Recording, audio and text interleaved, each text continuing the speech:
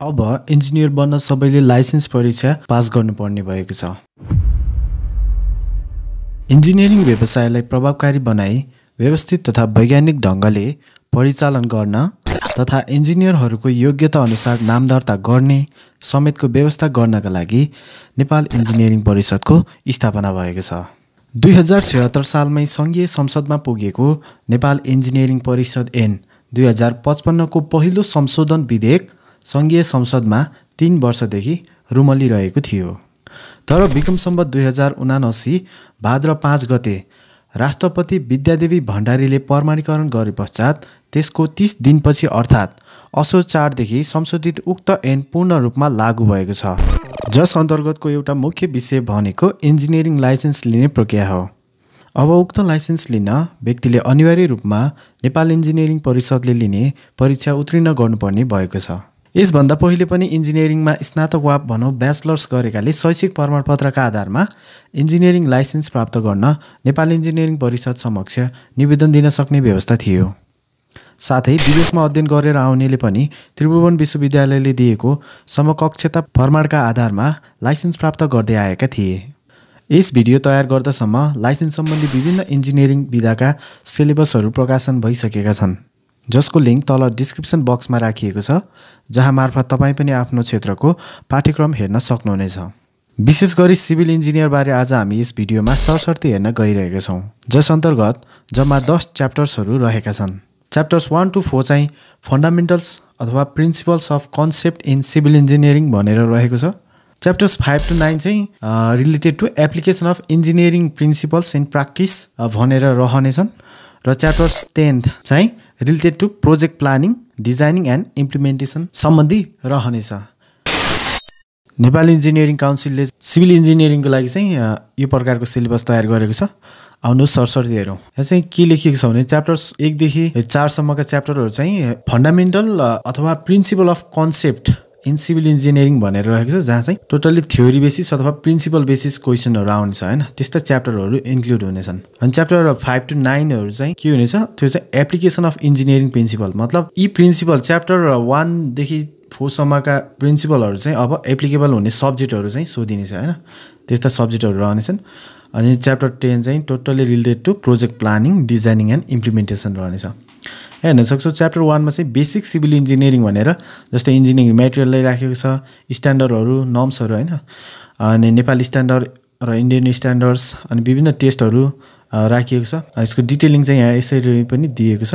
अनि बिल्डिङ टेक्नोलोजीबाट पनि रह्यो। त्यसपछि जेमेट्रिकल प्रपर्टिज अफ सेक्सन भन्यो। त्यसपछि surveying levelling estimating costing valuation होइन? अनि त्यसपछि च्याप्टर टू चाहिँ हाम्रो के रहन्छ? सोइल मेकानिक्स र फाउन्डेसन सम्बन्धी रहेको छ। विभिन्न स्ट्रेसेसहरू होइन? सेयर स्ट्रेन्थ स्टेबिलिटीहरू रह्यो। अनि च्याप्टर थ्री चाहिँ हाम्रो के रह्यो? बेसिक वाटर रिसोर्सेस इन्जिनियरिङ भनेर fluid fluid and their properties भन्यो। त्यसपछि hydrostatics hydrokinematics and hydrodynamics pipe flow open channel flow hydrology भनेर रह्यो।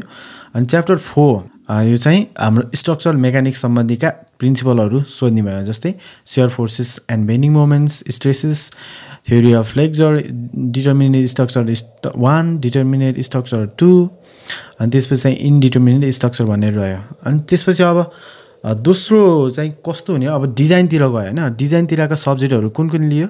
कसरी चाहिँ यहाँ राख्यो? च्याप्टर फाइभमा चाहिँ डिजाइन अफ स्ट्रक्चर भनेर लोड्स र लोडका कम्बिनेसनहरू सोध्ने भयो। च्याप्टर त्यसपछि कङ्क्रिट टेक्नोलोजी त्यसपछि RCC structure one structure two steel structure timber and masonry structure अनि च्याप्टर सिक्समा चाहिँ water supply sanitation and environmental environment भनेर चाहिँ अब वाटर सोर्सेसहरू वाटर क्वालिटी अनि intake structure water treatment design and construction of sewage treatment and disposal of waste water concept of environmental assessment भनेर रह्यो। अनि च्याप्टर सेभेनमा के रह्यो फेरि? अनि च्याप्टर सेभेन चाहिँ इरिगेसन एन्ड ड्रेनेज भनेर रह्यो। त्यसमा चाहिँ water डिमान्डको estimation design of canals diversion head works river training works regulating and cross drainage structures water logging यस्ता कुराहरू चाहिँ च्याप्टर सेभेनमा रह्यो। अनि त्यसपछि च्याप्टर एटमा रहेको छ हाइड्रो पावर सम्बन्धीका क्वेसनहरू आउने भए जस्तै planning of hydro power project power and energy potential study headworks of storage plant अनि चाहिँ headworks of run of river अनि water conveyance structures hydroelectric machines and power house chapter नाइनमा चाहिँ ट्रान्सपोर्टेसन सम्बन्धी क्वेसन आउने भयो। जस्तो कि highway planning and survey geometric design of highway highway materials traffic engineering and safety road pavement road constructions and maintenance भनेर chapter nine भयो। र तेस्रो भनेको चाहिँ टेन चाहिँ हाम्रो प्रोजेक्ट प्लानिङ डिजाइनिङ र त्यसको इम्प्लिमेन्टेसन सम्बन्धी रहनेछ। जस्तै इन्जिनियरिङ ड्रइङ र यसका कन्सेप्टहरू इन्जिनियरिङ इकोनोमिक्स त्यसपछि प्रोजेक्ट प्लानिङ एन्ड स्केजुलिङ सम्बन्धी रहेको छ त्यसपछि project management engineering professional practice engineering regulatory body भनेर च्याप्टर टेन रहेको छ। यसरी चाहिँ भनेपछि हामीले के बुझ्नु पऱ्यो भने वान टू फोर चाहिँ टोटल्ली थ्योरी बेसिसहरू च्याप्टरहरू त्यस्ता सब्जेक्टहरू समेट्यो भने च्याप्टर फाइभ टु नाइन चाहिँ के हुने भयो? डिजाइन बेसिसका सब्जेक्टहरू समेट्यो होइन? अर्थात् चारवटा चाहिँ थ्योरी बेसिसका च्याप्टरहरू रहे पाँचवटा चाहिँ हाम्रो डिजाइन बेसिसका च्याप्टरहरू रहे र अन्तिम एउटा च्याप्टर भनेको प्रोजेक्ट प्लानिङ त्यसको इम्प्लिमेन्टेसन डिजाइन सम्बन्धी रहने भयो। यो भिडियो तयार पार्दासम्म क्वेसन्स तथा पास मार्क्स के कति रहने भन्ने बारे भने कुनै पनि ठोस निर्णय बाहिर आएको छैन। यसबारे थप तथा ताजा जानकारी पाइराख्नको लागि कृपया नेपाल इन्जिनियरिङ परिषदको आधिकारिक website W W W dot NEC dot GOV dot NP login गर्न सक्नुहुनेछ। जसको लिङ्क तल डिस्क्रिप्सन बक्समा पनि राखिएको छ। आजको भिडियो तपाईँलाई कस्तो लाग्यो? कृपया आफ्नो अमूल्य सुझाव तथा प्रतिक्रियाहरू तल कमेन्ट सेक्सनमा लेख्नुहोला। भिडियो हेर्नु भएकोमा तपाईँलाई धेरै धेरै धन्यवाद।